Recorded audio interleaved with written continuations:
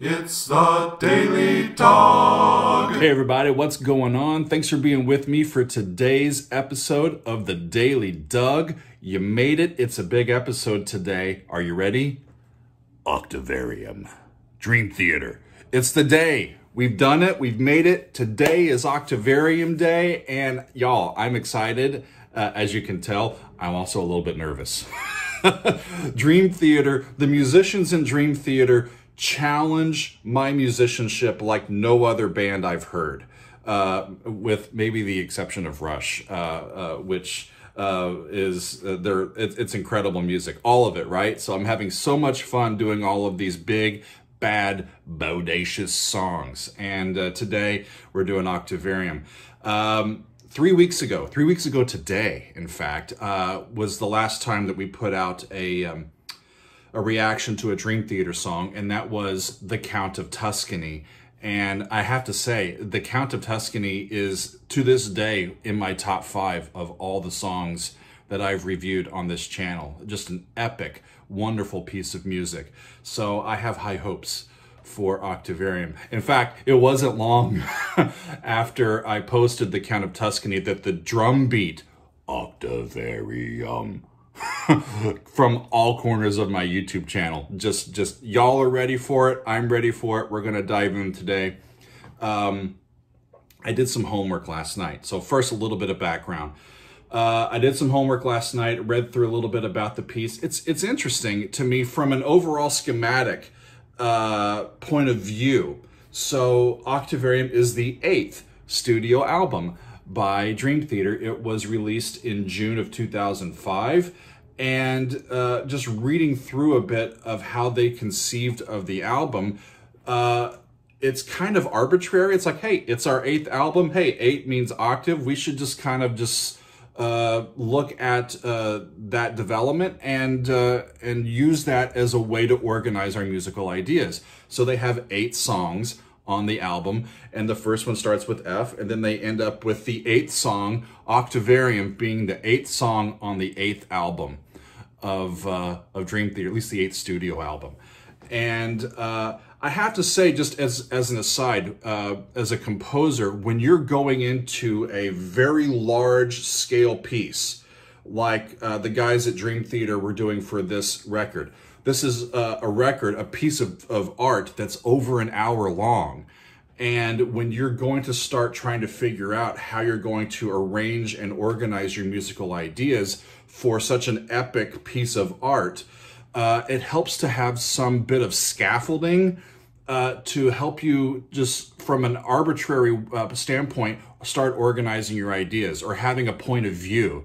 Because I got to tell you, there is nothing scarier as a composer than a blank sheet of paper and no point of view, right? So just coming up with, hey, it's our eighth album. We should focus on the octave and lay out our stuff this way. It's just a way to start so that you can dive in and have a little bit of swimming room. Uh, or at least you're, it's almost like defining the area of the game field so that you know what type of game you're playing. And then you can be creative within the scaffolding that you've created or set up for that piece. It's really a smart thing to do. And it does definitely help, especially if you have writer's block uh, just to give yourself some some points of view to then start working from, and you can uh, do your thing. Uh, I have looked at the lyrics, and I actually a couple times the lyrics are fascinating to me and uh, just all over the map. But uh, we'll uh, we'll see what we can come up with. This is a long piece, y'all. It's 24 minutes long. I'm going to try to get through this with as few interruptions of the music as possible, but uh, let's take a deep breath. I think we're ready. Uh, I'm doing this late morning, so I've, I've got an extra bit of coffee to get me through, and uh, I think we're ready. Are you? Okay, Dream Theater, Octavarium. This is the studio recording, and uh, let's hit it. Here we go.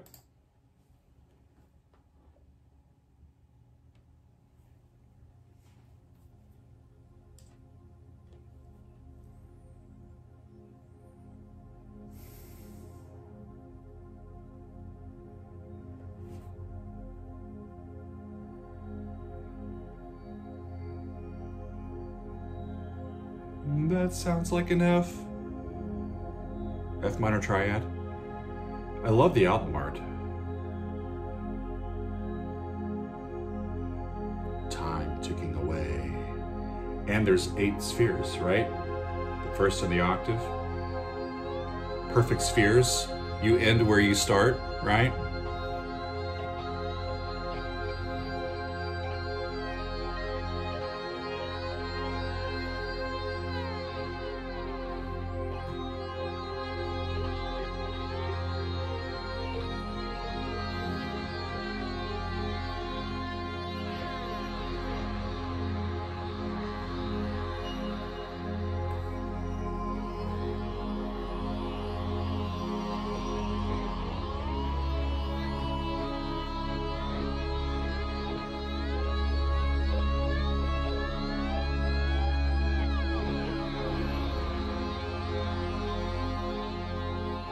Minor down to D flat minor, and then back to F.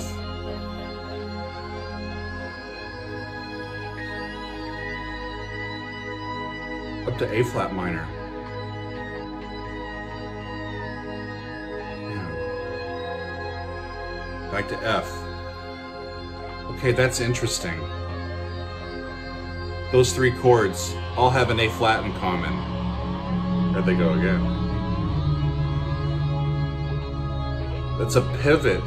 They'd use an A flat as the third of a chord, a fifth of a chord, and the root of a chord. And they're all minor chords. It's a chromatic third shift that uh, a lot of composers use. In fact, I was listening to Rush again last night. Uh, Rush does that quite a bit too. This, these chromatic thirds or chromatic mediant relationships.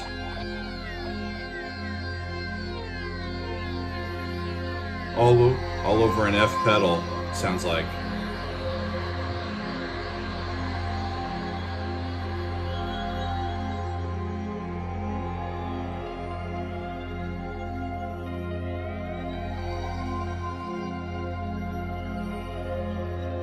Didn't expect to hear a steel guitar. It's normally country music.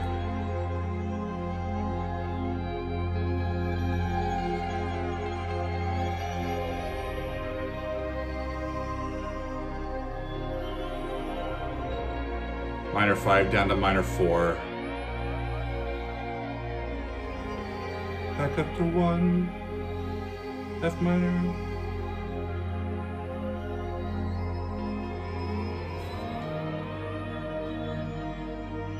The mix is fantastic. The bass goes up to G, the bass goes up to A flat. Relative major, A flat. Down to the 5 chord, C major, um, back to Tippets F major. The mix is unbelievable.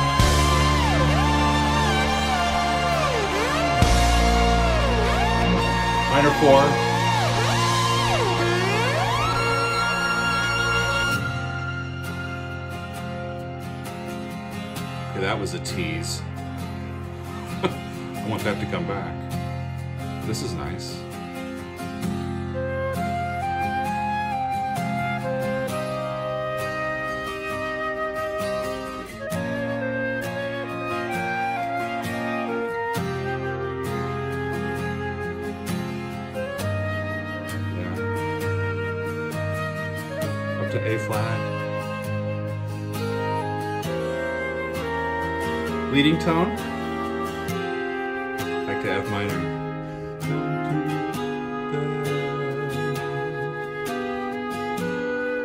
Five of five. Seven diminished to five. To five.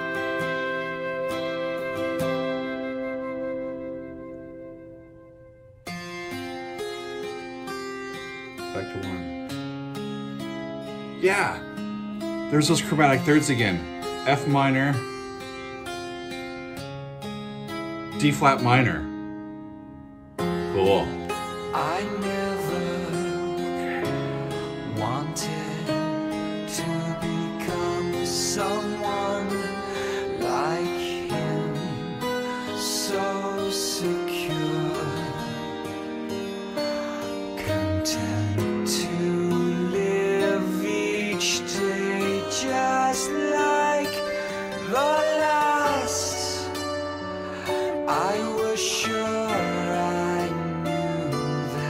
They're on the move. This was Whoa! not for me. All of a sudden they're in a sharp key. See how brighter that is? How much? far beyond what I could see. And I wanted so much more, far beyond what I could see. I swore that I So I swore that I'd never become someone.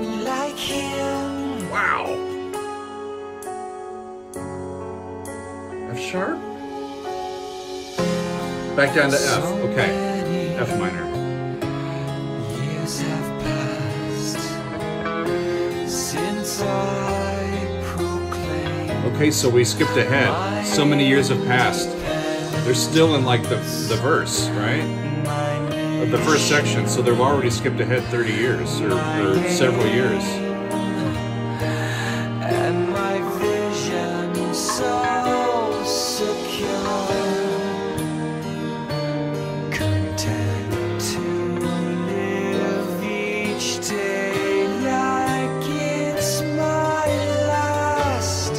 Yeah, they did that before.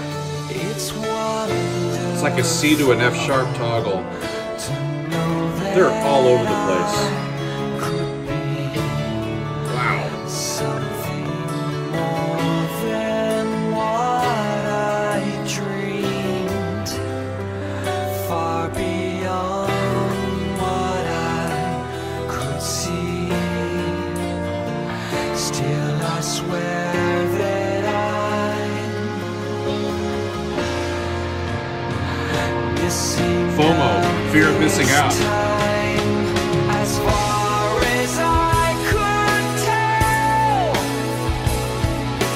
Nothing more. They're over B? Is it dominant? but still I ask myself, Lovely vocals. could this be everything? Turns minor over five to five. And all I swore Minor five. Then a half step. And now it's a dominant over A. A major, A minor.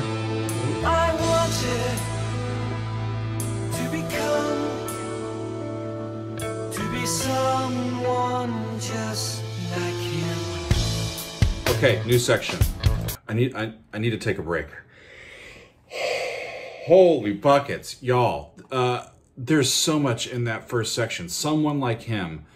Um, the first part, I'm, I'm looking at the lyrics here. I never wanted to become someone like him, uh, content to live each day like the last. And then they get to this next little bit, and it says, So many years have passed since I proclaimed, right? So it's, I don't know if it's, it's both in the present and the past, or they're, rec- uh, so it's, it's complicated. Uh, hashtag dream theater. It's complicated. but uh, a little bit further down, as far as I could tell, there's nothing more I need. But still, I ask myself, could this be everything that I, all I swore that all I would never be was now? So suddenly, the only thing I wanted to become is to be someone just like him. So I don't know who him is. Is this a father figure? Is this a uh, musical mentor? Uh, not sure, but they're all over the joint. And again, it seems like what they're doing is taking uh, uh, single notes and doing chromatic pivots around them. That first little bit, there was an A flat in that F minor chord, and that's the third of that chord. Then it turns into the fifth of a D flat minor chord, and then it turned into the root of an A flat minor chord and uh, they were doing more of that uh, and it's how they get slippery from like flat keys to sharp keys because as soon as you take one note and you sort of pivot the other notes by like uh, in that chord by a half step or a whole step and you create this whole other chord. You get into a different realm like a different quadrant of the circle of fifths and it really opens the um, the harmonies up uh, and uh, all bets are off. So this is the second section medicate. I'm going to go back just a hair and we're going to keep rolling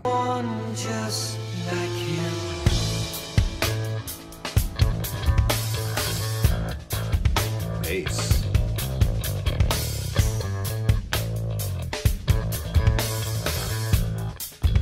I think you're in A. A major.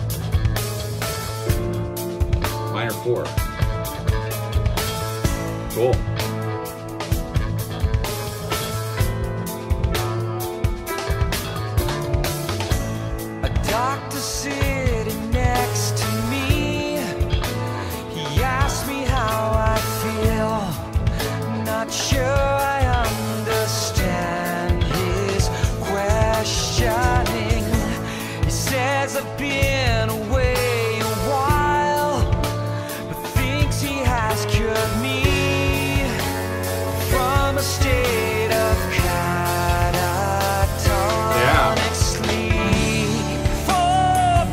A is in all of these chords.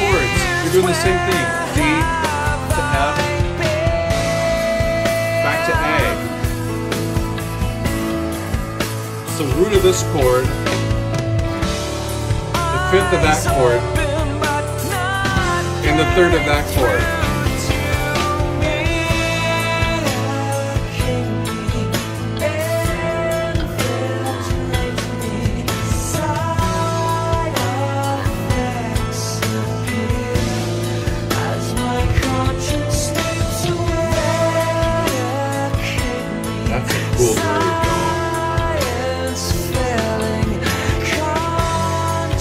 Science failing, conscience fading fast.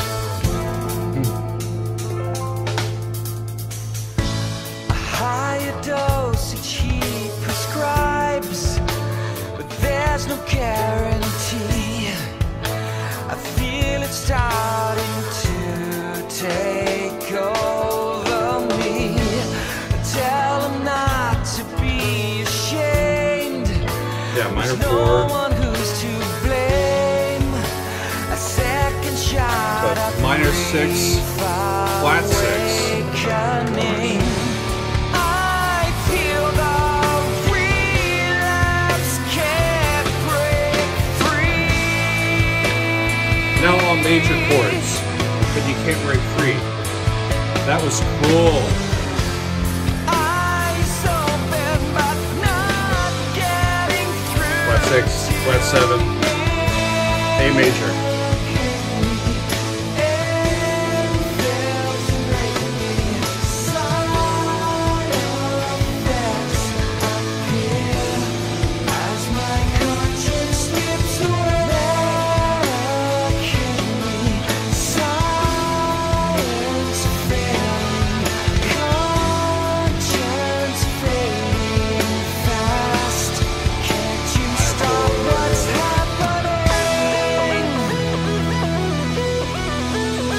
Okay.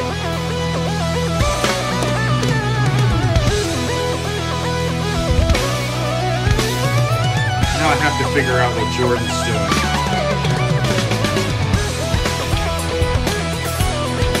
They went up. They were on the minor four in D, and they went up to E. That's about as far as I got.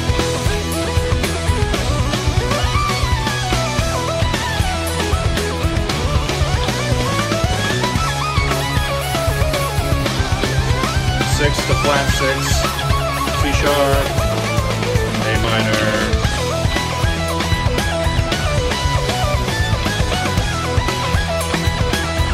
This is this is amazing.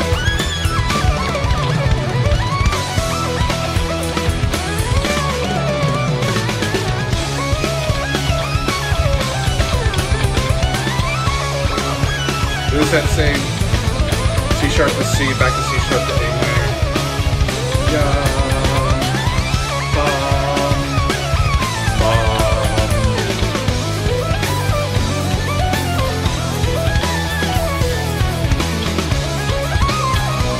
They call this section full circle. At least the notes come full circle.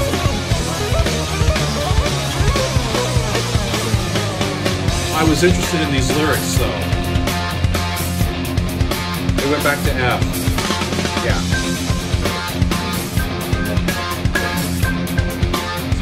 Seven, seven, seven. One, on two, three, four,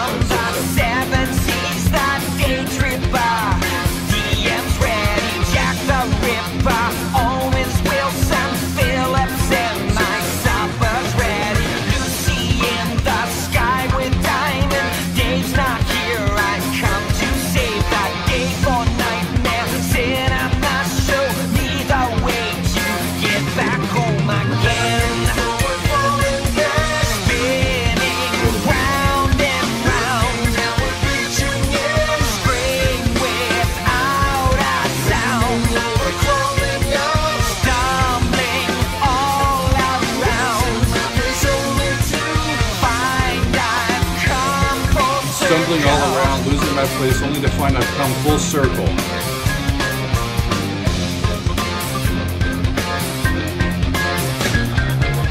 Flying off the handle with careful with that axe, Eugene Gene, Still in seven. machine messiah, Machine Messiah.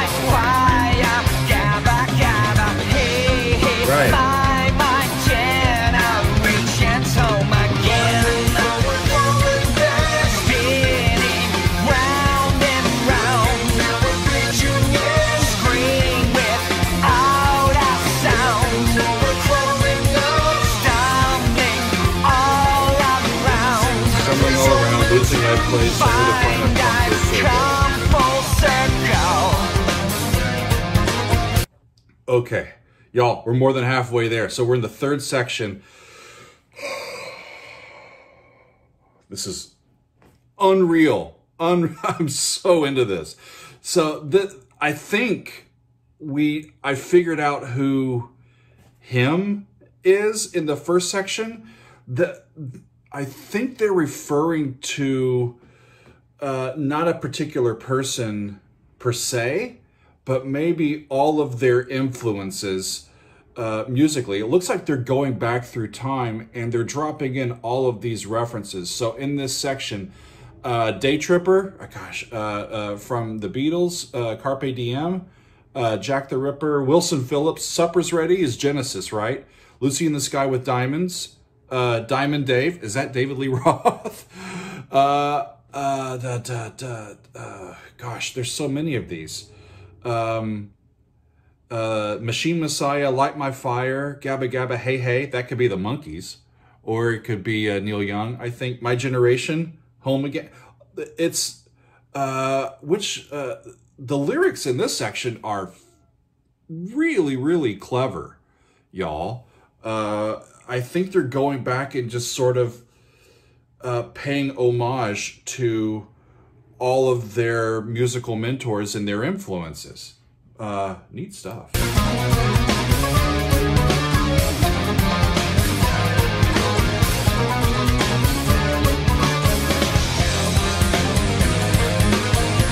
Five eight.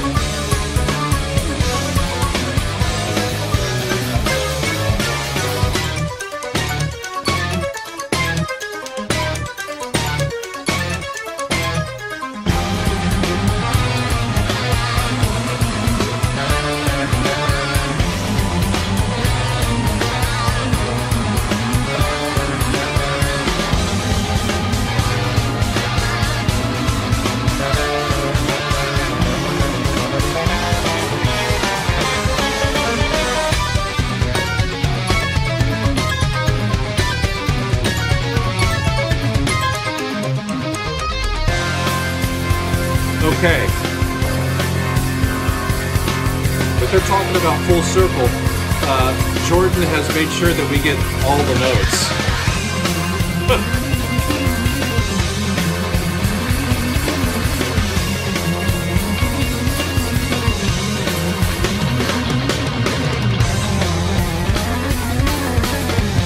the most progressive, intense part of the song that we've gotten to yet.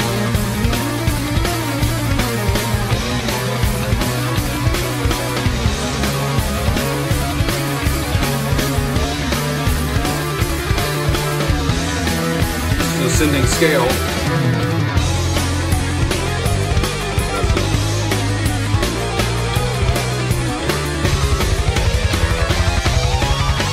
I'm getting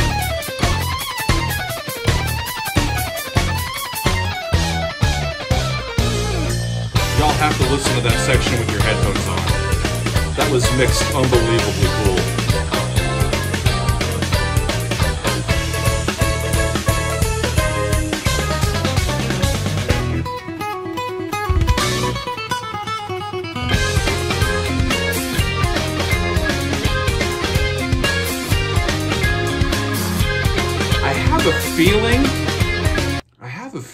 That they may be referencing some of the musical licks in these old uh, from these uh, references that they've included in the lyrics. But i don't know the repertoire well enough to know that for sure but there's a couple of them like that's familiar that's familiar but in a in a dream theater setting or a dream theater way. Crazy stuff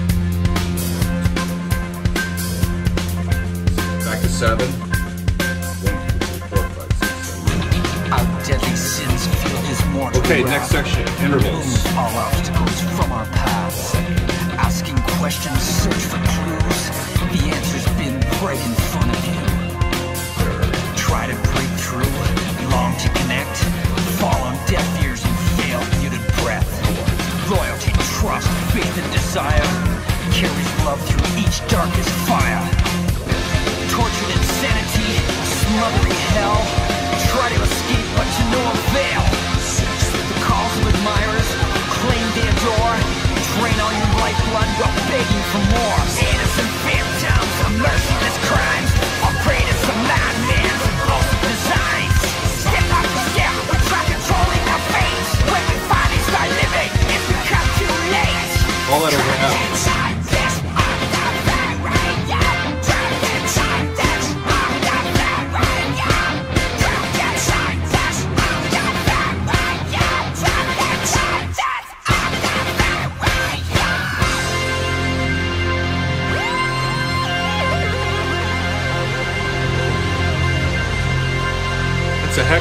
scream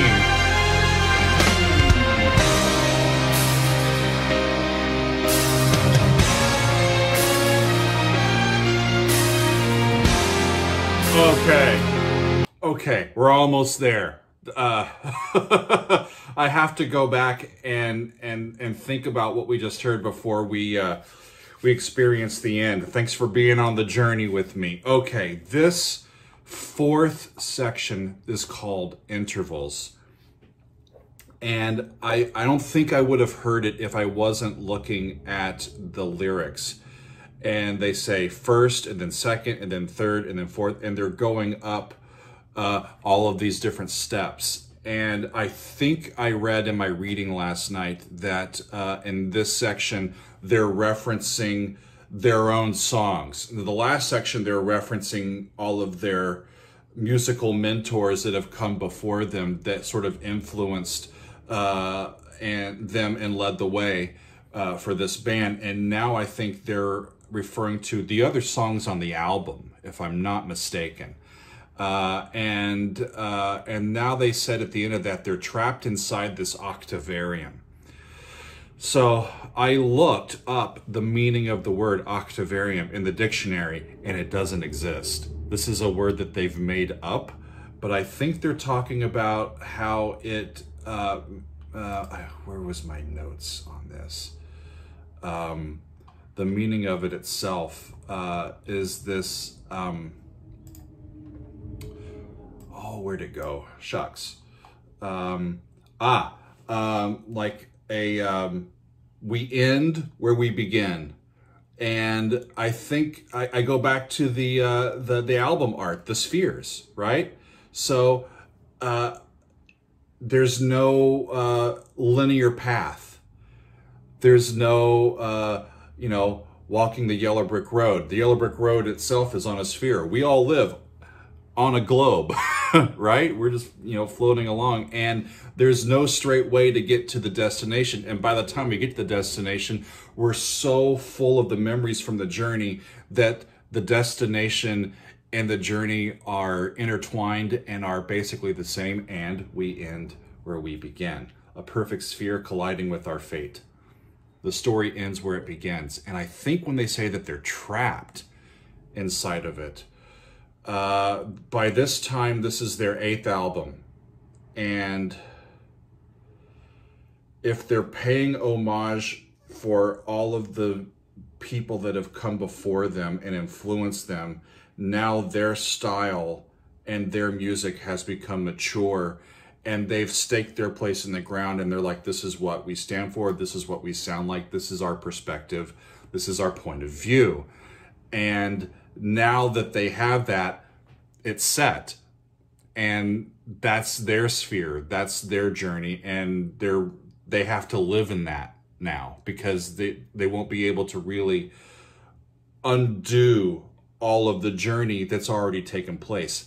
I think that's what they're talking about. If I'm just way off base, I'm sure y'all will let me know.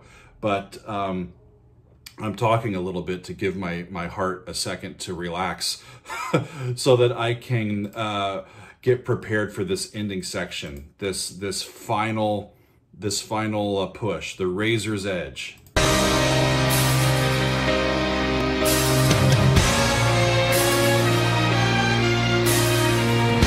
And I love that they have real strings. And, a, and the flute at the beginning.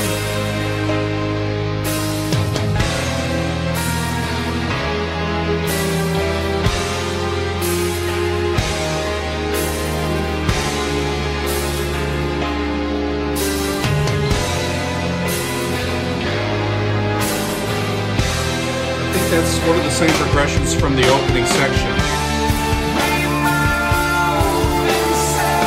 D, then the C sharp,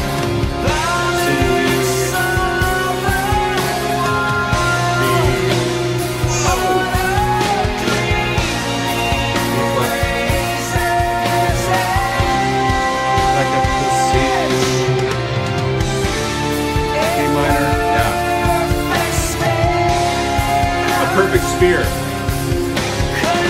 colliding with our fate.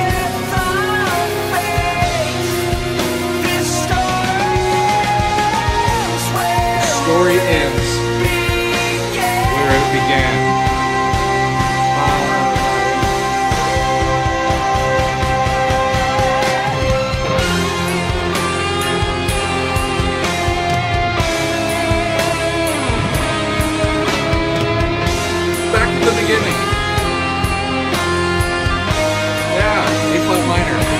Minor. First and second. That was a dominant over B flat.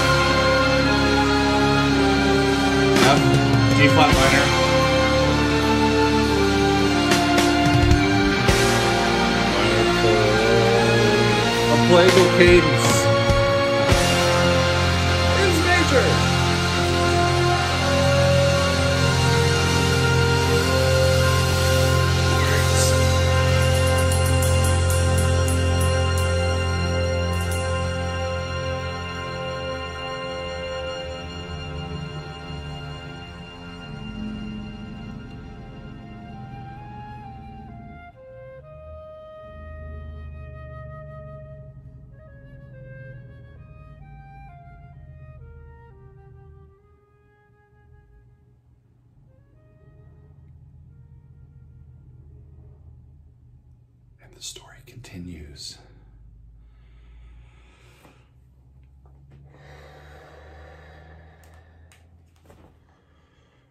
Oh, Y'all.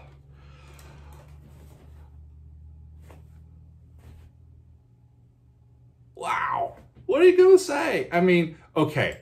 The, the last thing, the, the, the, the end, again, as with the end, the, some of the other stuff, the last few minutes is just like the perfect thing. But it can only be that powerful if everything else that sets it up is part of a really well constructed narrative.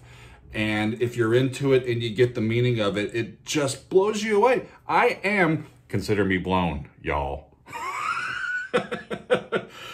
oh my goodness. Uh, you know, I th- uh, the the ending with those horns. Um, it ends on that. ma- Finally, ends on that major chord, that major F chord, and those horns went to the minor sixth. They've been doing that a lot. A major, uh, sometimes when they're in a major key, but those minor four chords is mixing between the minor key and the major key, and those horns went up to the minor sixth, which in that key is a D flat. But for the horns, because they they transpose down to fifth, it's a high A flat for the horns down to their that resolves down to their G, and it's the top heroic part of their range. Perfectly written, perfectly voiced. I have nothing bad to say about that, uh, other than uh, when can I listen again? Uh, unbelievable, unbelievable, unbelievable. How do they do that? Uh, great stuff. In fact, uh, I, I I wonder if I'm on the right track, y'all. Y'all can help me out. We're 38 minutes in. I knew this was going to be a long video.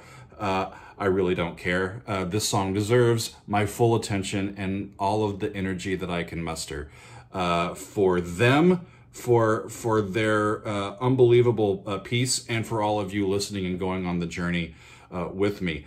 I have seen doctoral dissertations by composers that didn't come close to this in terms of scope, meaning, structure, uh, chops, everything instrumentation, orchestration, performance, all of that. Um, it's one of the most uh, brilliant um, pieces of music in this genre that I've ever experienced. And um, can't wait to listen again. Can't wait to listen again. We move in circles, balanced all the while, all gleaming on, on a sorry on a gleaming razor's edge. A perfect sphere colliding with our fate, the story ends where it began. So if we go back to the very beginning of this, if I can figure out how to get back up there, there's a lot of lyrics.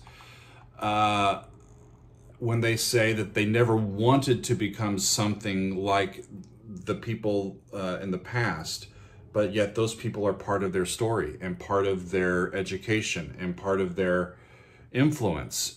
And uh, their own life experiences combined with their technique and their study and and what they believe in and what they hold to be true adds up and it allows us to create in the moment as best as we can and and after a while that becomes your style i often tell people people ask me like what is your compositional style? I'm like i don't know. But composing is uh nothing if if nothing else it's just a series of asking a whole bunch of questions to yourself and then answering them. You have a musical problem you find a musical solution. Again and again and again and again and you just keep plugging away. And over time you'll find yourself answering similar questions in similar ways. And when you start uh, going to these answers that you like, that make sense to you, that fulfill you as a musician, it sort of becomes your sound. And then that becomes your style and your identity as a musician. And I think that's what these guys are talking about. It's our eighth album, and we're now a mature band. We've got a whole litany of, of repertoire. We have established ourselves and for better or worse we're trapped in it but we're gonna make uh, it count as best we can. So i think that's what their point of view was on this. Um, if, it's not and if i miss some stuff let me know. Uh, and uh, uh, i have a feeling that i'm to keep coming back to listening to this for many years. Uh, uh, not just the reaction to this. I actually enjoy watching my own reactions because I'm, I, I try to learn from myself about what I can do better and, and, and all that sort of stuff. Uh, but uh, wow, Dream Theater. I can't say enough good stuff. Y'all, this has been a fun, fun, uh, taxing episode, but I'm so happy to have done it and just really fulfilled. And uh, I'm gonna, uh, it's gonna propel me into the weekend, and um, I can't wait to come back next week. And we'll keep looking through some more tunes and uh, and engaging in conversation and uh, musical growth, which you thought with each other. So thanks very much for being with me on the ride, and we will see you next time on another edition of the Daily Doug.